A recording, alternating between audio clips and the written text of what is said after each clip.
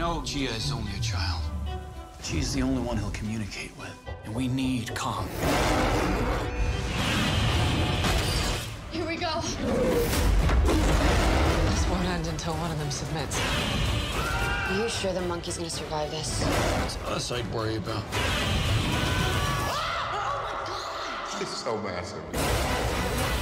Godzilla vs. Kong in theaters and on HBO Max March 31st. Rated PG-13.